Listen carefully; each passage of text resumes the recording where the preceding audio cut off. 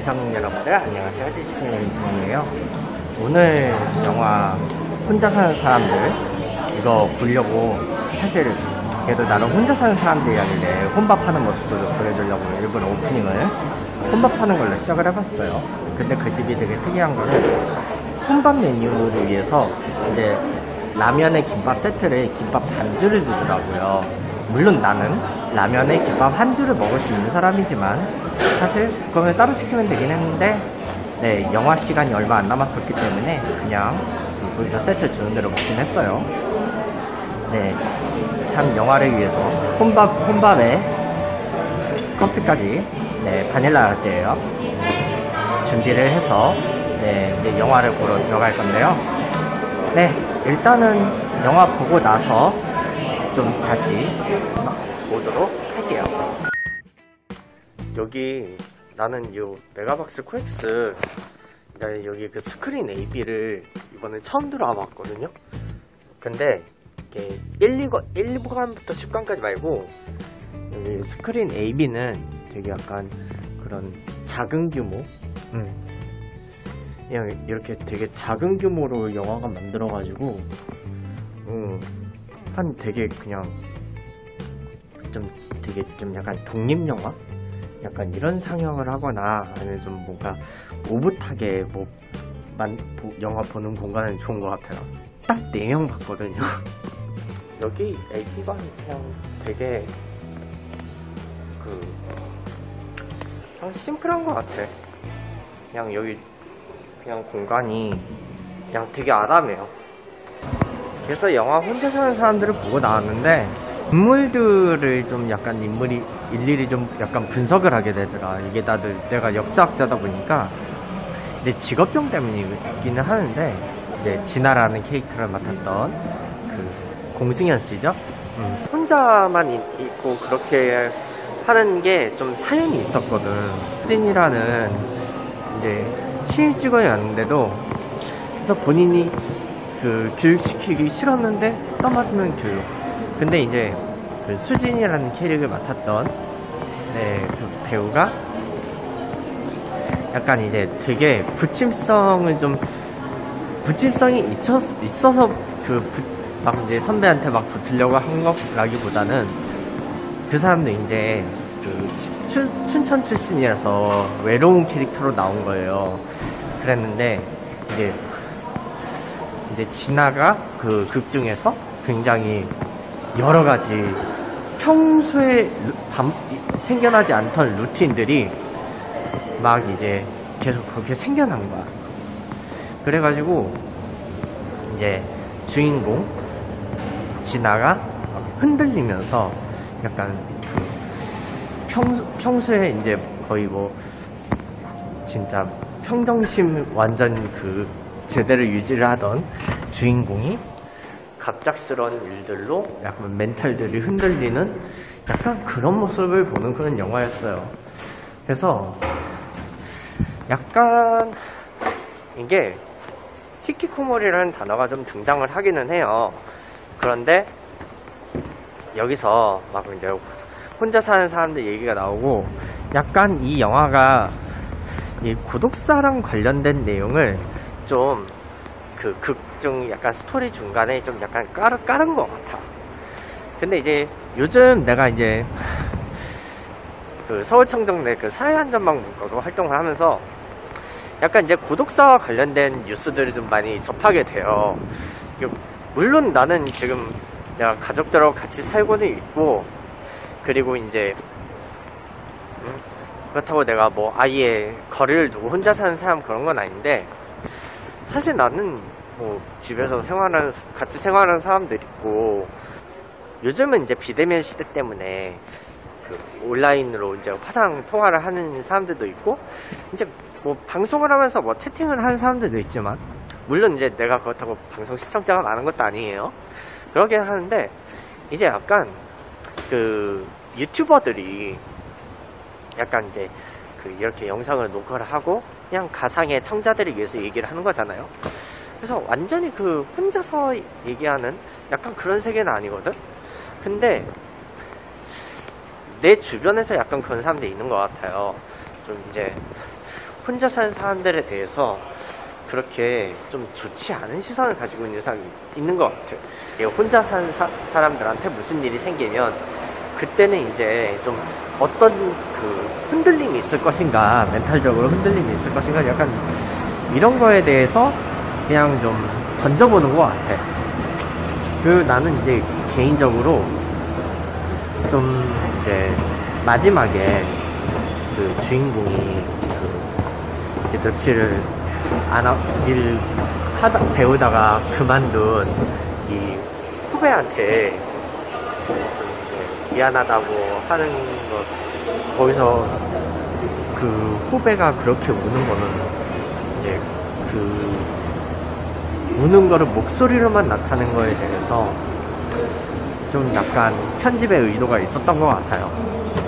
요즘에는 이제 혼밥하고 뭐 혼술하고 이런 사람들이 되게 흔한데 약간 이 영화에서는 아직 좀 그런 혼자서 생활을 하는 사람들에 대해서 조금 약간 주변에서 바라보는 시선의 관점으로 그린 것 같아요. 이거는 내 개인적인 생각이에요. 주변에서 바라보는 시선으로 그린 것 같은데 모르겠어요. 나는 이제 개인적으로 이제 한 밥 먹는 거 정도는 가족들하고 같이 움직이지만 아무래도 이제 그 이외의 다른 스케줄은 뭐 자는 시간도 좀 다르고 뭐 이제 가족들하고 조금 그 약간 패턴이 달라가지고 좀 사실 불편한 점이 없잖아 있어요. 그래서 이런 경우는 생활 패턴이 다를 경우에는 좀 이제 다른 사람들하고 좀 이제 거주를 같이 하기엔 좀 불편할 수도 있기는 해요. 물론 이제 나도 이제 나중에 그 어느 정도 그 내가 혼자서 살 수 있는 형편이 되면 아마 그때는 이제 그 약간 자는 루틴이라든지 먹는 루틴이라든지 이게 다르기 때문에 이럴 때는 오히려 조금 이제 그 분가를 하는 게 좀 더 현실적으로는 나을 수도 있기는 해요. 돈이 있다면. 네. 그런데 그렇게 혼자 따로 산다고 그게 이제 그런 사람들은 모두 다 히키콤몰이라고 할까요? 히키콤몰이라고 하는 사람들은 그냥 이제 진짜 온라인으로라도 소통을 하는 사람들은 히키코모리가 아니거든요.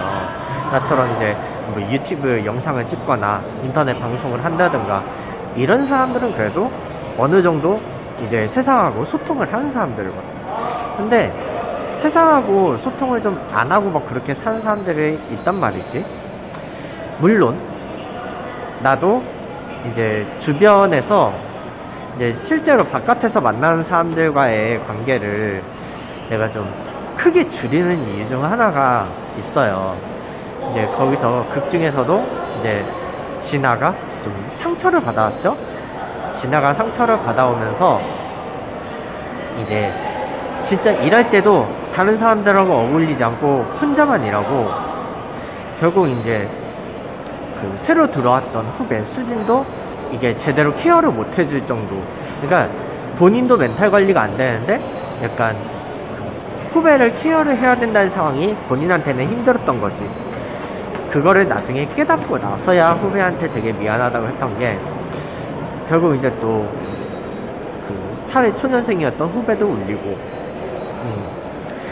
사실 나 같은 경우도 그 직장인 직장에 생활을 하면서 약간 이제 선배들이 자기가 원하는 쪽을 너무 케어를 하려고 했던 것 같아요. 그러니까 약간 내 방식을 이해해 주려는 그런 케어는 없었던 것 같아요.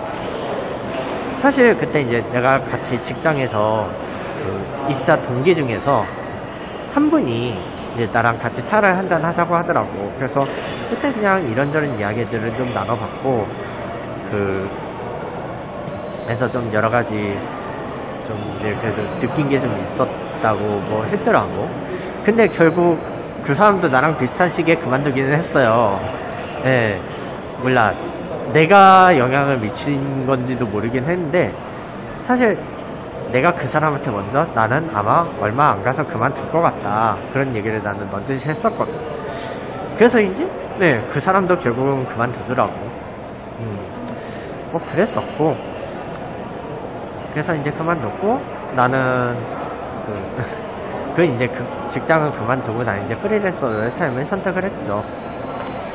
그래서 그래서 프리랜서로 활동을 하면서 사실 이제 중요한 거는 그 주변 사람들과의 그 인간관계가 영향력이 좀 있어야 되는데 나는 그 과정에서 굉장히 나는 타격을 많이 받았어요.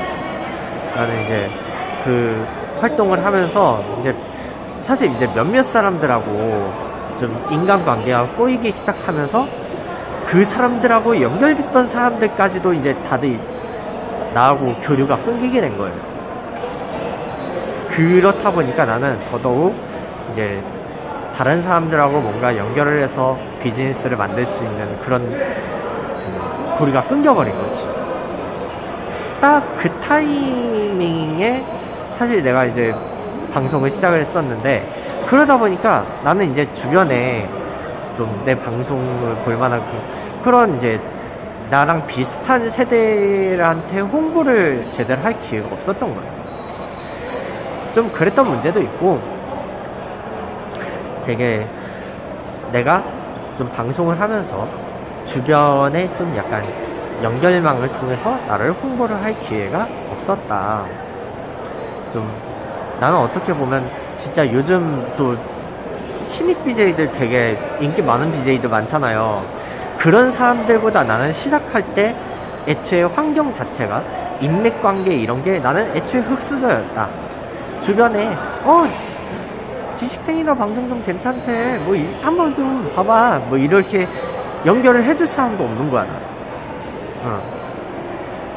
그만큼 나는 인터넷 방송계에서 거의 진짜 그 거의 그냥 혼자 진짜 완전히 흙수저로 퍼왔던 사람이에요. 물론 이제 내가 방송을 한, 하고 나서 한 어느 정도 한 1, 2, 한 2, 3년 정도 시간이 지나면서 이제 그쯤 가서 이제 한나님이 나하고 이제 커넥팅이 돼가지고 뭐 콜라보 컨텐츠도 하고 뭐 그러긴 했지만 뭐 근데 이제 지금은 또 이제 코로나 때문에 이렇게 방송인들이 뭔가 같이 합동 방송을 하, 고 그런 것도 힘들잖아요. 뭐 몇 명이서 모이기만 해도 그 방역수칙 위반이 되는데 그거 어떻게 해? 음.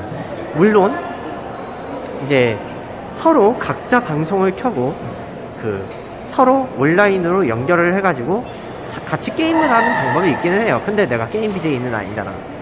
솔직히 솔직히 얘기하면 나는 그렇게 온라인 게임을 즐기는 BJ는 아니고 뭐 기껏해야 뭐 게임 해봤자 뭐 고정 게임? 뭐 이런 거 정도고 뭐 그래 펌프를 한다고 쳐도 사실 펌프는 지금 대회도 없고.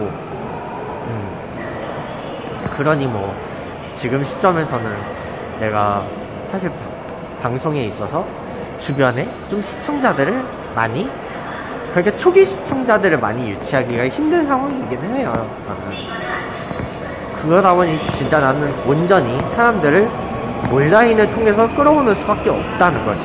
내가 뭐 그래 방송인들 중에서는 내가 뭐 인맥이 없는 건 아니긴 인맥이 없는 건 아니야. 그런데 사실 그 사람들하고 나하고 방송의 방향이 맞지 않으니까. 그래서 내가 일부러 그 사람들한테 발을 벌리는 건 아니에요. 집에 와서 며칠 생각해보니까 이게 이 영화에서 다루는 게 일단은 그 고독사 문제도 좀 다루고 아무래도 이제 그 주인공들의 마음 건강과 관련된 문제 이런 것도 좀 다루는 것 같아요. 그리고 이제 좀 주거 형태에 있어서 혼자 사는 사람들을 안 좋게 본다기보다는 혼자 사는 사람들이 어떻게 사는지들을 좀 약간 그냥 보여주는 것 같은 약간 그런 느낌이 들어요. 아무래도 이제 내가 음, 아는 사람들 알겠지만요. 그 서울 청정net 그 사회안 전망분과에서 활동을 하고 있다 보니까 물론 이제 뭐 주거와 관련된 뭐 것도 관심이 많고 뭐 이제 좀 개인적으로는 그런 이제 고독사 문제라기보다는 이제 개인적으로는 이제 마음 건강과 관련된 문제를 좀 많이 집중을 해서 봤거든요. 그래서 이제 주인공인 그 진아가 그 마음 건강 문제가 아무래도 부모님과의 그 트러블 문제로 그래서 트라우마가 생긴 거였는데 그 이후로 사람들과의 관계에서 이제 마음을 닫았잖아요. 마음을 닫은 걸 보고 내가 딱 그 내 마음이 내가 다른 사람들한테 마음을 못 여는 거 약간 그런 거 좀 공감이 갔고요. 이제 고독사와 관련돼서 나오는 거는 사실 이제 그 혼자 사는 사람들에 대해서 좀 서로에 대해서 어느 정도의 관심은 좀 그러니까 적정한 선의 관심은 좀 필요하다고 보거든요. 무슨 일이 생겼을 때 그거에 대한 관심이 없어가지고 시, 시신이 며칠 동안 썩어 있었던 거지. 뭐, 뭐 그랬던 문제도 있고. 근데 이제 약간 그 청년 세대들의 약간 이웃 관계? 그러니까 청년들끼리 도 약간 그런 마을 단위의 활동을 하기는 해요. 내가 이제 우리 동네에서는 사실 별로 못 찾아서 그렇지. 음, 몰라. 동네 성당에서만 찾아서 그럴 수도 있기는 해. 뭐, 그런 것도 있고, 사실, 몰라. 사람, 사람들과의 관계 좀, 거기도 이제 나는 개인적으로 트라우마가 좀 쌓였기 때문에, 사실 사람들과의 관계를 좀 더 넓히는 게 요즘은 좀 무서워요. 그런 것도 있고 사실 개인적으로 마음 건강을 회복하는 게 좀 더 우선적인 단계에 있기 때문에 그것 때문에 좀 영화를 보면서 뭐 마음이 뭐 마냥 편치는 않았다. 그래가지고 그 수진이라는 캐릭터 여- 연기했던 분이 이제 마지막에 되게 마지막 그 대사가 막 진짜 펑펑 우는 대사로 끝나더라.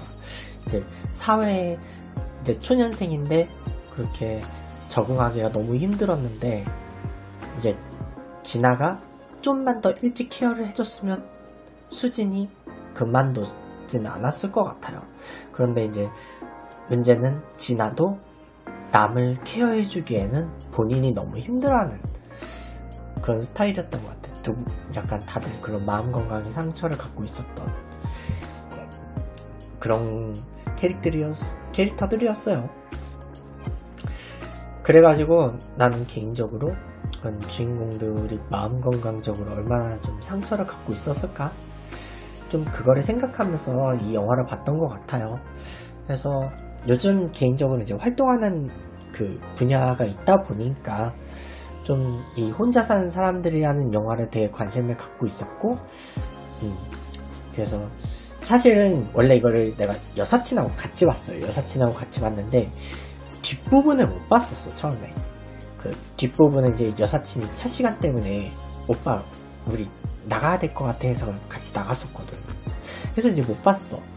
그래서 결국은 내가 나중에 혼자 내가 따로 가서 그 뒷부분 끝까지 본 거거든요. 그래서 어떻게 좀 나는 좀 내가 좀 더 공감이 가는 영화였기 때문에 영화를 좀 끝까지 보고 싶었고 좀 약간 기생충 봤을 때처럼 좀가 약간 뭔가 해피엔딩으로 끝났다기보다는 약간 영화가 좀 뭔가 그냥 가슴 한 구석에 좀 약간 그런 아리는 영화 였던 것 같아요. 기생충 봤을 때처럼 약간 그런 기분이 들었어. 네, 그러면 지성인 여러분들, 우리는 다음에 만날게요. 안녕.